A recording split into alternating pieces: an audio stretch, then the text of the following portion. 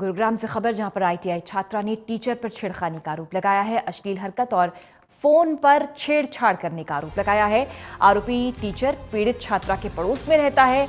ITI में अकेला जानकर, पकड़कर छेड़खानी किया करता था, यह आरोप लगाया है पीड़िता ने। टेस्ट में फेल करने की धमकी दिया करता था। पीड़िता ने गुरुग्राम पुलिस को लिखित शिकायत दर्ज कराई है। गुरुग्राम से खबर आईटीआई की एक छात्रा ने अपने शिक्षक पर आरोप लगाया है छेड़खानी का। छात्रा ने पुलिस को ये शिकायत दर्ज कराई है कि उसके साथ उसका शिक्षक अश्लील हरकत करता था, फ़ोन पर गंदी बात किया करता था और टेस्ट में फेल करने की भी धमकी दिया करता था। सुशील सिंह जुड़ गए हैं फ़ोन लाइन पर। सुशील पुलिस ने मामला दर्ज कर लिया है। क्या कहना है पुलिस का? जो आरोपी शिक्षक है, गिरफ्तारी हुई उसकी, पीड़िता क्या कुछ कह रही है मामले को लेकर?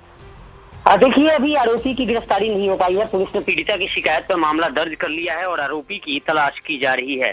साथ ही पुलिस ने प्रिंसिपल को भी बुलाया है और उससे पूछताछ कर रही है, चूँकि एक छात्रा ने आरोप लगाया है और छात्रा ने कहा है कि किस तरह से जो टीचर है, जो शिक्षक है, वो उसके साथ गलत करने की कोशिश कर रहा था। उसके पड़ोस में ही रहने वाला शिक्षक है और उसके साथ जबरन संबंध बनाने की कोशिश कर रहा था। इसकी शिकायत उसने कई बार प्रिंसिपल को भी की थी, लेकिन प्रिंसिपल ने इस मामले को अनसुनी कर दिया था। अब इस मामले में पुलिस ने एफआईआर दर्ज कर लिया है और मामले की गंभीरता की जाँच की जा रही है।